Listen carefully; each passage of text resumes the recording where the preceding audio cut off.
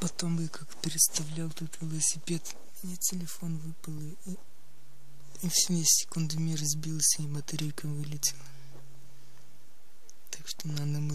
Так что надо было показать сразу, как срезать надо.